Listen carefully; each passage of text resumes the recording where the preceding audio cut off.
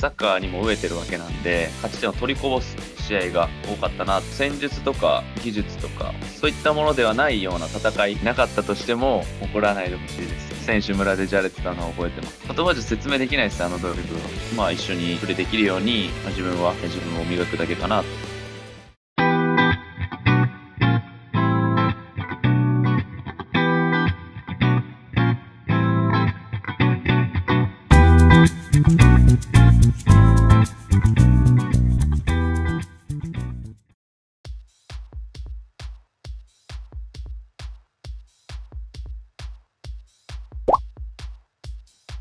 先月ですが、あのお子さんも誕生されてっていうところで、はい、おめでとうございます、はい、そちらも。ありがとうございます。なんか父親になって変わったことってありますか？里帰り出産をしてて、妻がですね、頻繁に通えるところではないので、休みが連休あってやっと会いに行けるような感じなので、まだ回数としては3回ぐらいしか会えてないので、またこの対遠征があるので、それが終わったらやっと会えるんですけど、やっぱり対面してみると、不思議な感覚というか、本当に自分の娘がこう存在してるんだっていうのが、すごい不思議な感覚というか、幸せっていう種類がこうまた違うというか、言葉にするのは難しいような感覚になりますね。2年連続のベストイレブン選出おめでとうございます。ありがとうございます。受賞しての率直な気持ちっていうのはいかがでしょうか？昨年初めて選んでもらって来年も選ばれたいなって強く思ったので素直にとても光栄なことですし、まあ、フロンターレとして引っ張っていきたいっていうのはもちろんあるんですけど J リーガーを代表する選手っていう意味ではやっぱ2年連続っていうのはすごい自信にもなるというかまたもっともっとレベルアップしなきゃいけないなとかそういった気持ちにもならせてくれるような賞だなって改めて感じました。今シーズンでいうとやっぱりその背番号14っていうところがあったと思うんですが、はいこれを昨年のそのインタビューでも伺ったんですけど、今季実際につけるっていうのが初めて知ったっていうのはどのタイミングだったんですか？年末ですね、クラブの方から連絡がありましたね。はい。実際に背負ってみてどうでしたか？背負って決まったのは、まあ、オフシーズンだったんで、年末だし、まだこう、ふわふわなんて言うんだろうな。まあいろんな気持ちがやっぱりあって、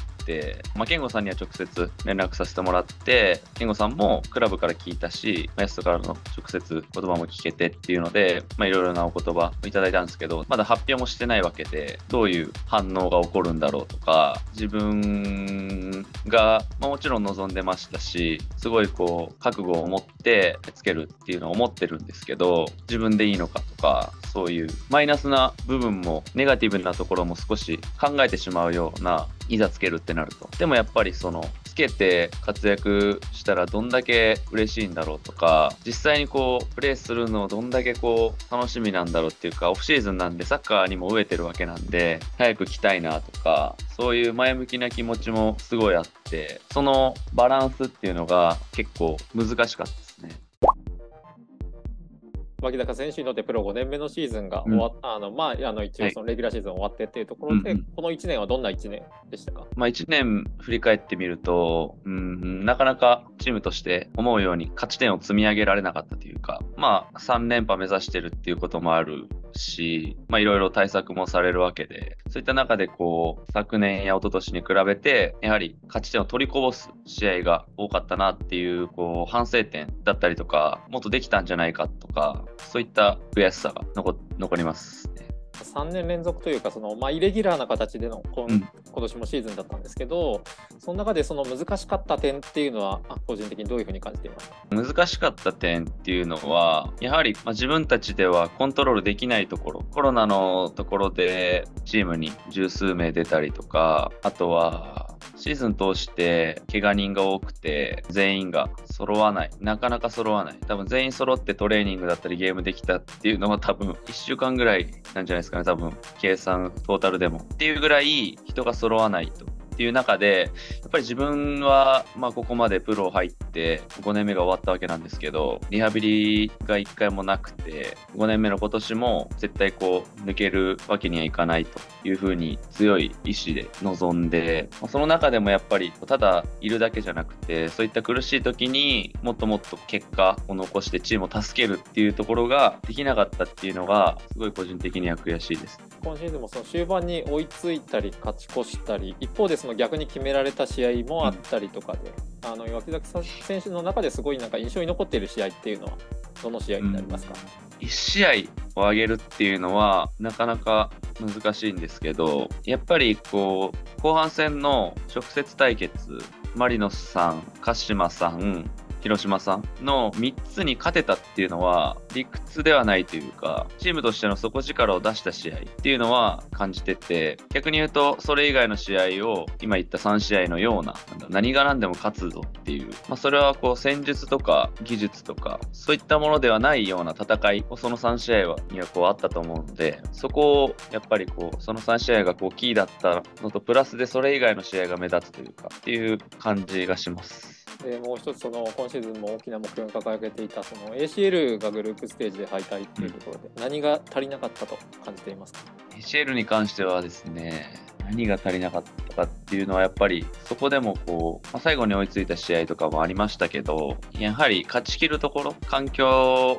動向ではなく、まあ、ゴールを決めるっていうところがまず少なかったのかなっていうのは感じますね。でゴールを決められるっていうのもあったのでやっぱりそこの両ゴール前のところはやっぱ ACL では出てしまったかなって思います。今シーズンあの5つ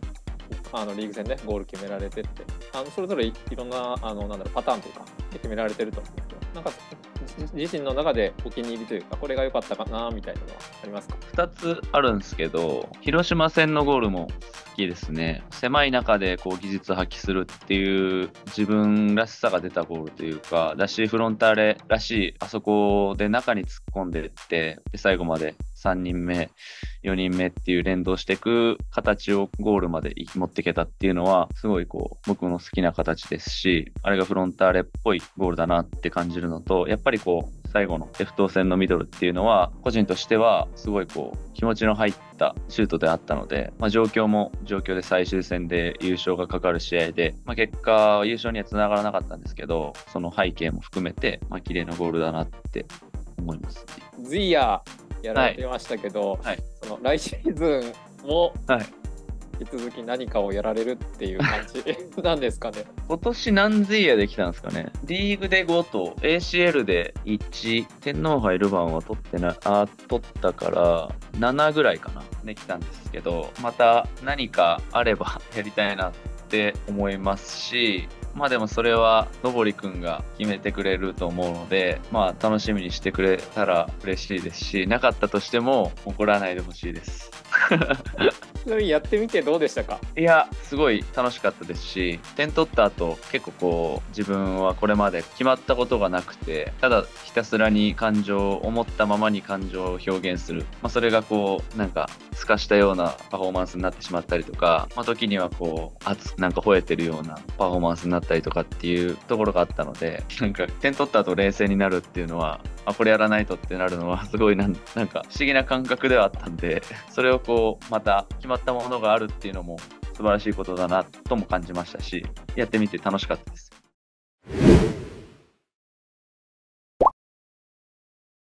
ちょっとここからあの日本代表についても伺えればと思います。はい、大学時代あの2017年の台北のユニバーシアードで優勝されてますけど、はい、あの時にあの、森田選手だったり三笘選手、うん、旗手選手と一緒に出てたじゃん、うん、あの時のなんか思い出とかってありますか、まあ、ずっとヒデとレオとなんかじゃれてた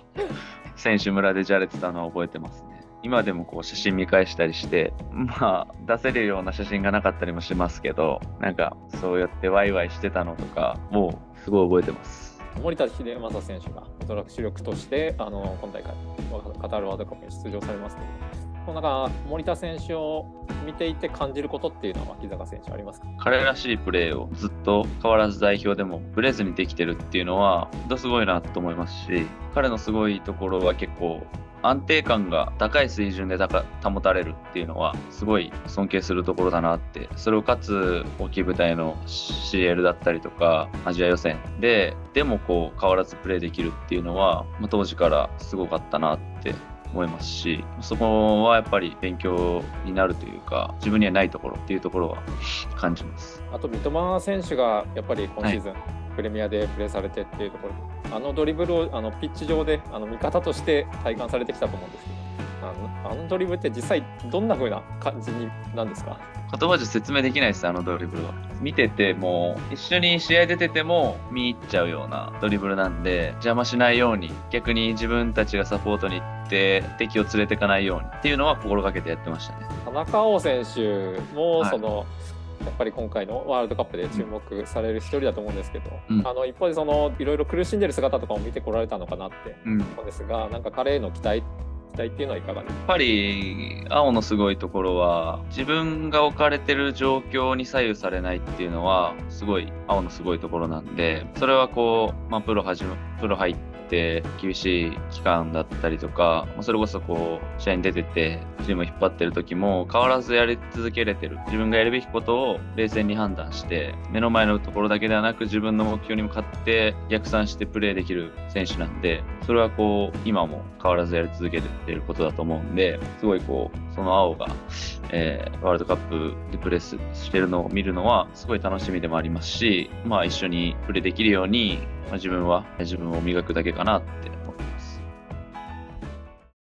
一体感もありましたね。同じようなタイプの選手になってしまうんじゃないか。元アルゼンチン代表の選手が指導していて、高校サッカー行きたいとか思わず、監督が 結構機嫌悪くて、そのメンツだったら昇格できるんじゃないか。4年間見送りにさせてください。そんな遠くまで行かなくていいんじゃないとか。お前今ここで願書書け。取れるタイトルは狙うべきだと思いますし、狙わないと絶対にそこには届かないと思うので、